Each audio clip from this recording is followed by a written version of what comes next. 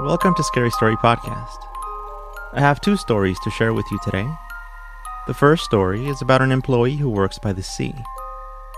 And the second one is about a strange encounter by the fields while working at a bit of an unusual job.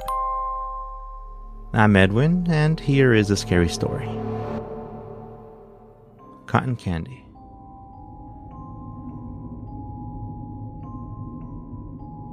It was another late night.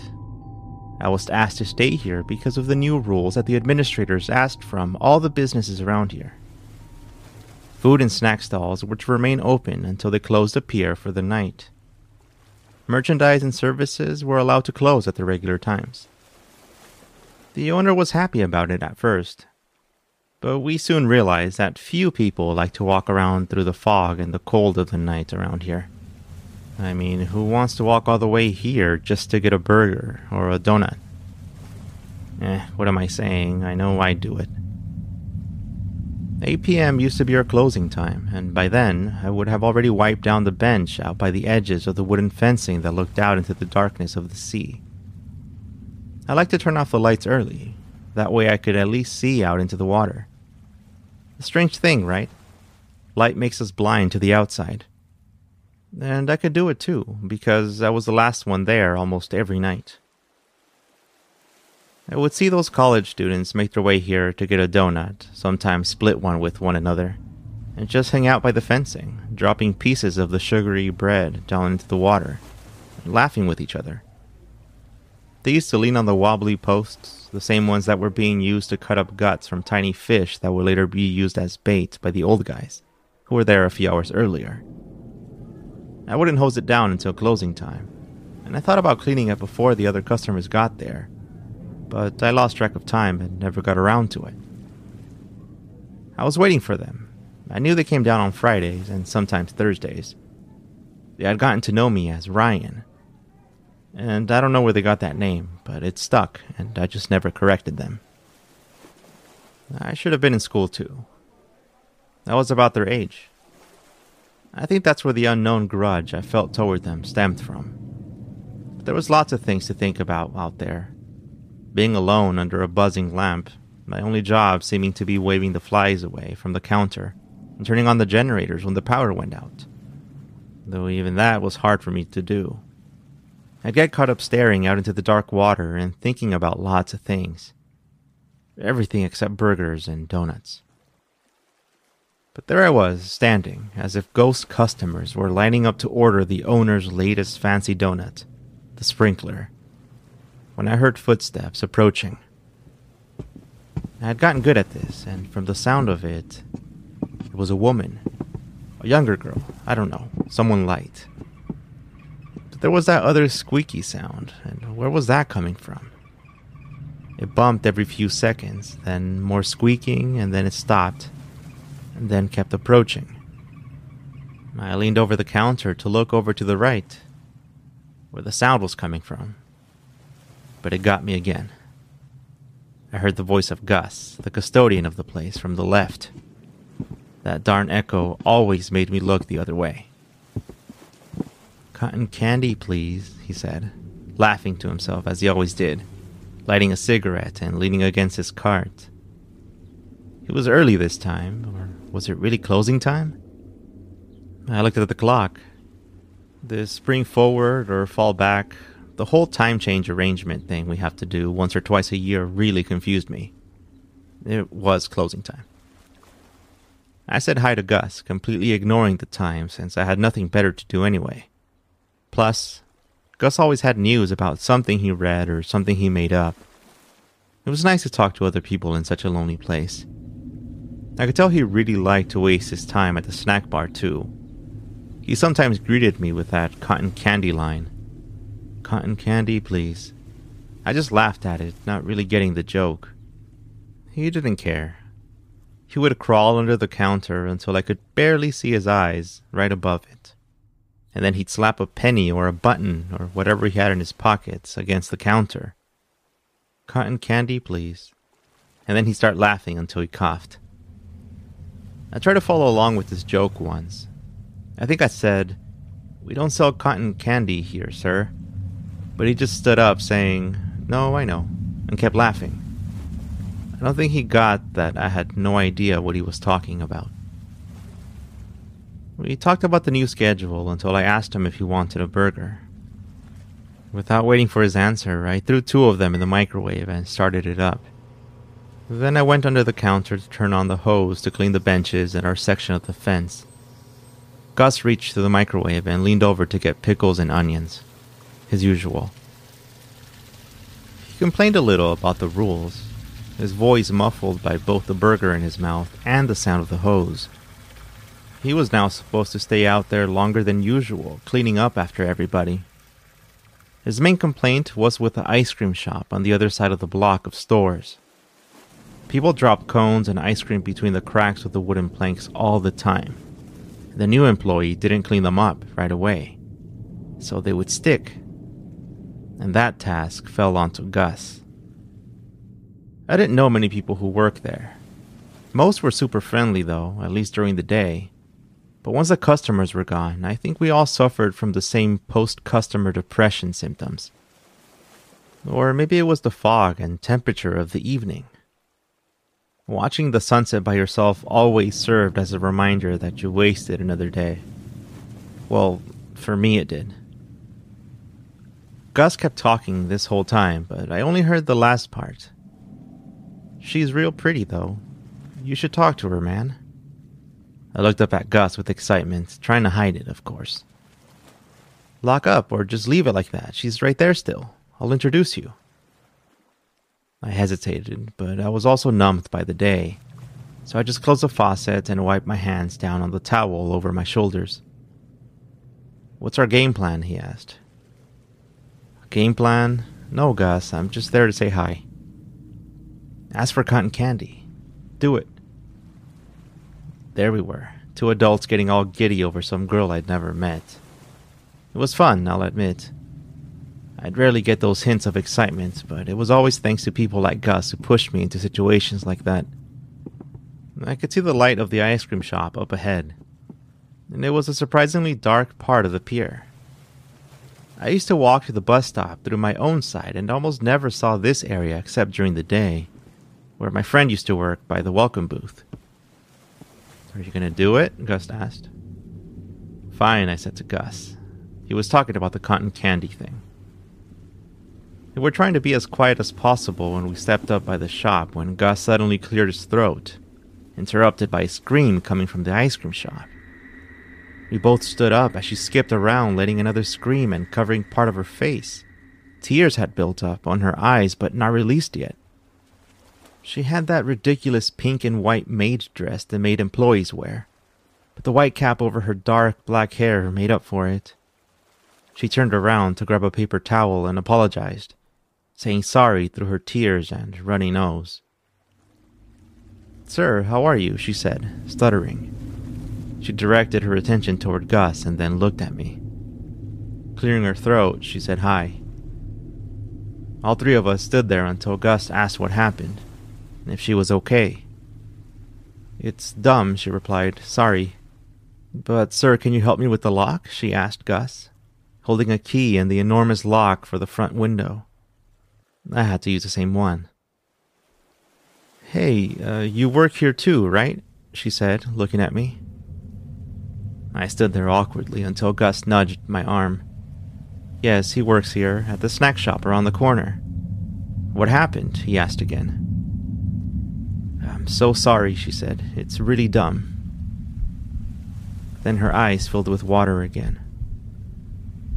Then she said, I saw her. For the first time, I saw the expression on Gus's face change, like he wasn't smiling for an instant. Where? Here? he asked. She came up to the window, like everyone said she would. Gus looked at me. I had no idea what he was talking about, but he looked at me as if I did, reaching out to tap my arm.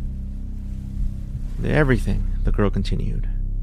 The wet hair, the dirty dress, the tapping of the shoes. I was cleaning up the inside like the manual says. I kept the cash register open until last, like it says right here. in case the customers get here late. But there was nobody. Nobody came. I sat here listening to the water hitting the posts underneath me when I heard someone coming. That was us, Gus interrupted. No, but for you guys. She tapped her shoes and dragged her feet, then tapped her shoes again. She was singing something or whistling, I don't know. I saw her. I stood up and waited for someone to come up to the counter. I knew my lines. Welcome to the ice cream wave, what can I get for you, right? But all I saw was a tiny hand reach out and splash water right into the counter. I heard a coin against it, but there was nothing when her hand left it. I looked at her. Her eyes were so dark. Missing. I think they were missing. She had two ponytails, wet, and they were sticking to her neck. Part of her face was hidden, but I saw the gashes, everything. I'll lock up right now, please. Can you just stay? I'll keep an eye out, Gus said to me, and walked away toward my snack bar. Help her out, I'll wait for you back there. Gus shook his head and his arms as if trying to shake off a spider, talking to himself, saying things like, oh my goodness, and creepy, and other words like that as he walked away. I grabbed the lock and asked her to make sure that the displays were off, that the floor was clean, and that the cash form was signed. You know, since she was new. She looked at me and nodded. Her tears were gone, but her nose was pink now. I asked her to make sure she had signed out and taken the keys with her. She showed them to me and squeezed out of the counter without lifting up the door. She'd figure it out eventually, I thought to myself, feeling a little sorry for her. I squeezed the lock and turned the key, and it popped open. That's what she was having trouble with, and chuckled, asking if she could try it, and then she got it to work. She closed the wooden door over the window and locked it up, asking which way to the snack bar. We started walking along in silence, but just before we turned the corner, she grabbed my arm and leaned closer. We both heard it the shoes tapping, the dragging against the wooden planks, coming closer behind us. I turned around. There was no one there. Startled, I put my hand behind her back and pushed her alongside me toward the lamppost that was waiting for us around the corner. From behind us, we both heard her voice. I felt her shaking as we got closer to the lit area suddenly erasing everything past those wooden posts of the pier. Gus had referenced her. Everyone knew the story. Everyone except for me. Few claimed to have seen her, Gus being one of them. After being there for so many years, he had heard about her and had even gotten interviewed about it. He had the newspaper clippings on his storage locker, I heard a girl from the pier. Given a quarter by her parents to buy just one thing. In her excitement, she ran through the crowds away from her parents to find her favorite thing in the world. She zigzagged past the popcorn carts and the fishermen's buckets. She squeezed past the posts of the pier that she didn't know led straight into the water. She gripped her quarter as she splashed into the waves. She did not survive. But they say she still walks around here. Cotton candy, please. Goodbye.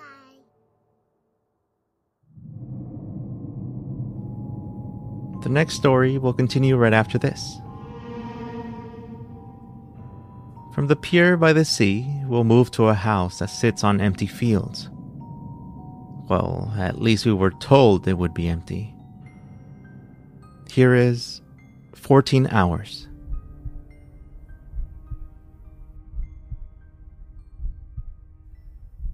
When I picked up a job taking care of a house, I didn't know it was a thing. People with lots of money, well, I'm assuming so because of their huge homes, give you money to stay at their houses while they go on vacation. Sometimes you feed their cats and dogs, and you get access to the entire place and the refrigerator. The first time, the owner met me outside of a grocery store and asked if I wanted to shop around because the house was running low on stuff. She asked me to purchase enough for a week, but if it was more, that it wouldn't be a problem because the food doesn't go to waste in their home. Honestly, I got a little worried because I was really low on cash.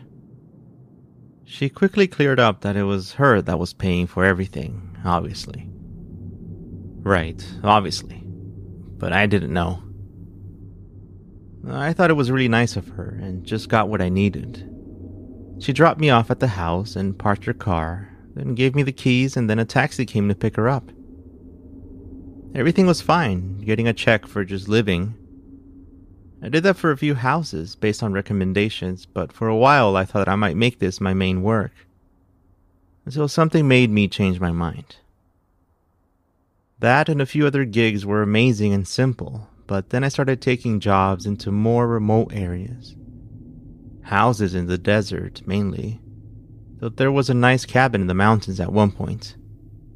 See, I arrived at another place and was told that there was plenty of food, internet, and everything. That I wouldn't have to worry about anything at all. It was around December, and it would be the longest stay I had done up to that point about 45 days, in a medium sized home in an enormous field with apple and avocado trees. But I couldn't tell them apart, and the entire thing looked bare, like certain sections of it had burned down. There was one task apart from feeding Boss, the dog, that made me feel a little uncomfortable. It was simple, really. I had to go out into the fields and get to four different checkpoints. The owner, or whoever took care of the place, had set trail cameras to look out into the fields, and they had given me a timer that I'd take with me and hang by the front door. When the timer went off, I needed to walk out there and switch the batteries, the memory cards, and reposition them exactly as they were before. It was all written out formally on a laminated piece of paper, as if other people had been tasked with the same thing before. The kitchen was lined up with paper cups and plates, canned food, and it felt like a break room, along with the stinky microwave and mop that looked like the ones that they have at restaurants, with the yellow bucket with wheels. That's what made me wonder if the house was a place for living, or just for workers who took care of the place. I'm not sure if you've been to a house with no decorations, or where they tried to decorate it but they didn't do a good job of it so it just looked empty that's what this place looked like. There were two bedrooms, each with two beds, neatly done, hotel style.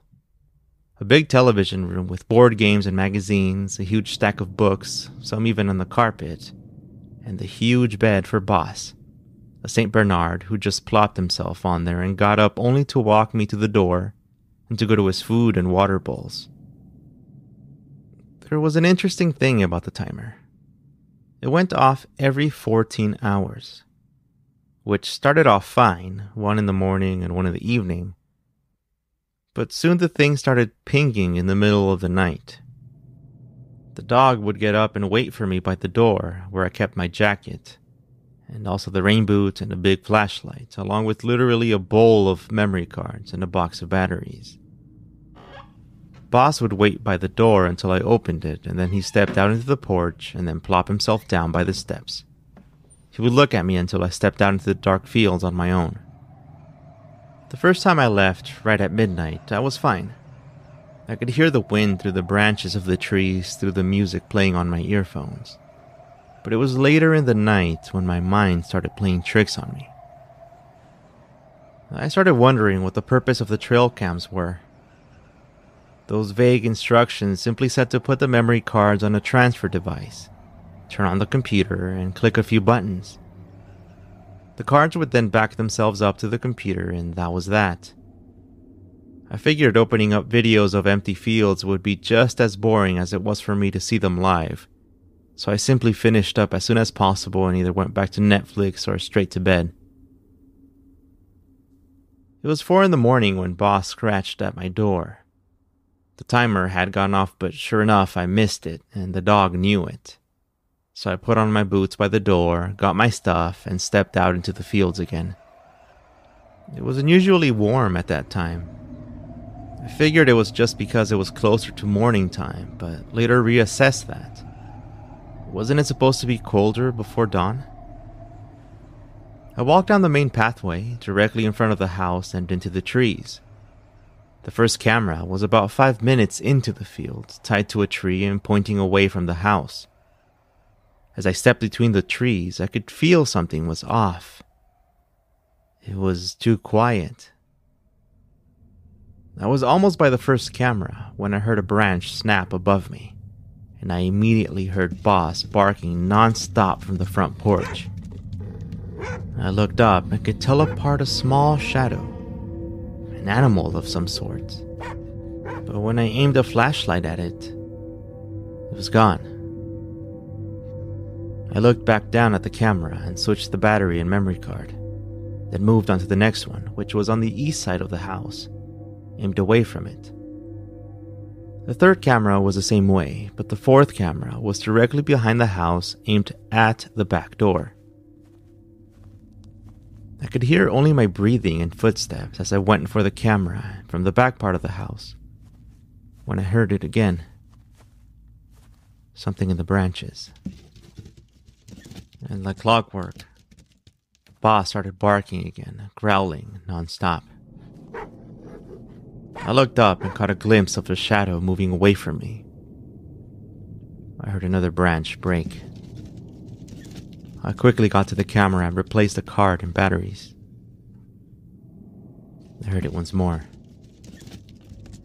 That's when I took off running toward the barking. Boss came running after me, and I called his name, hoping that he wouldn't confuse me with an intruder and bite me but he ran past me, barking out into the field and then turning toward me before running back up next to me as I went around the house and toward the porch.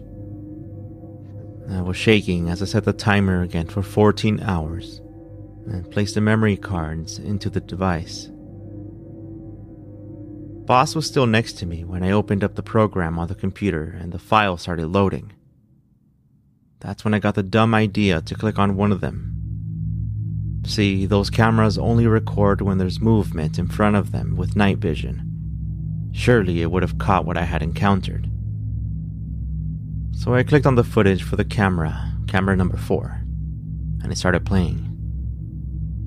And there it was a squirrel, right in front of the camera. I felt relief immediately when I saw it eating something from the ground, holding onto it with both of its paws. But then it perked its ears and froze in place. That's when the long fingers of a hand appeared from above the frame and slammed the squirrel into the dirt. Then a long, thin arm reached and scooped up the limp squirrel. The shadow of the long creature zoomed past the camera as dust flew around in front of it. From the center of the frame now, I could see a soft light in the distance. I watched completely frozen as I saw myself walk up to the camera. A long, tall shadow directly behind me, hiding between the trees. It jumped up and snapped the tree branch.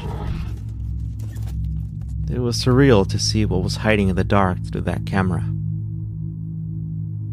Suddenly, the phone on the desk rang. I hadn't heard it ring this whole time.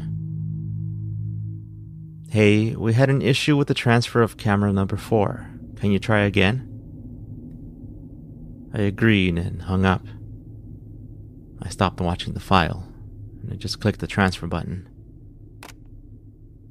I asked for a replacement for my stay, blaming it on a personal reason that I had to leave. They had no problem with that. I got my stuff together and said goodbye to Boss the next day. Something he was probably used to.